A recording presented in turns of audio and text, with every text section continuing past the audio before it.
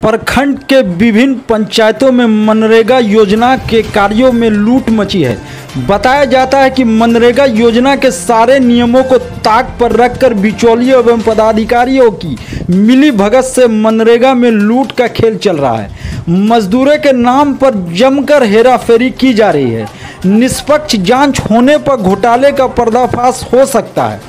चर्चा है कि प्रखंड में मनरेगा योजना के सभी मापदंड को के विपरीत कार्य कराया जा रहा है। गाये बगाए प्रखंड के पदाधिकारी औचक निरीक्षण के लिए योजना स्थल पर पहुँचते हैं। कार्यों में कई अनियमितता की साथ साथ कमी पाई जाती है, लेकिन इस पर कोई भी सुधार नहीं हो पाता है। इससे साफ़ पता चलता है कि पदाधिकारी और बिचौलियों की मिली भगत से इस तरह का कार्य चल रहा है। ताज़ा मामला सुखाड़ी पंचायत के शोभापुर गाँव का है। ग्रामीण प्रभु पंडित, विनोद पंडित, विजय पंडित, शमशेर, अशोक गोस्वामी, शाहजहां, शकील नसीम, नजाम बबलू ला बाबूलाल दास, नजरुल समेत अन्य ने प्रखंड विकास पदाधिकारी, सुरेंद्र उमराव को हस्ताक्षर युक्त, संयुक्त आवेदन देकर मनरेगा योजना में गड़बड़ी की शिकायत की है।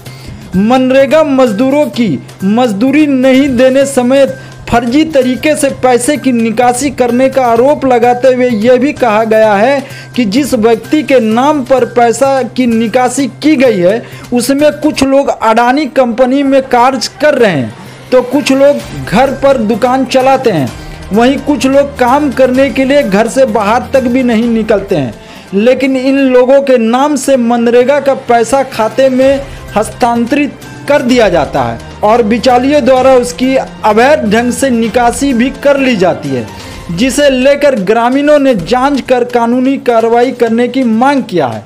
इधर ग्रामीणों के शिकायत के बाद जाँच करने प्रखंड विकास पदाधिकारी सुरेंद्र उमराव एवं बीपीओ साहब राम हसदा पहुँचते थे।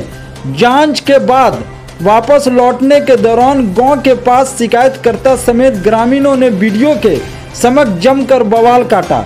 वीडियो ने ग्रामीणों से कहा, जिसके बारे में शिकायत किए हैं, उसके बारे में बताइए। अन्य समस्या को नहीं, वहीं एक महिला ने प्रखंड विकास पदाधिकारी को कहा कि गाँव में जिसका आलिशान पक्के का मकान है, उसे प्रधानमंत्री आवास का लाभ दिया जा रहा है, और जिसके पास रहने का झोपड़ी है, उसे आवास का लाभ लेने के लिए दर दर भटकना पड़ रहा है।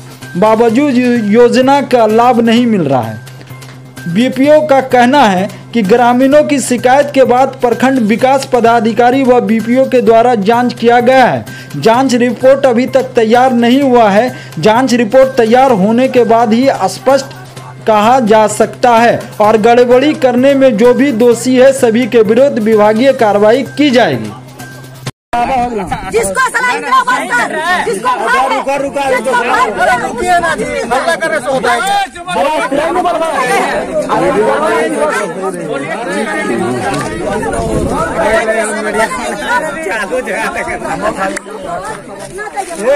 भारत में पीछे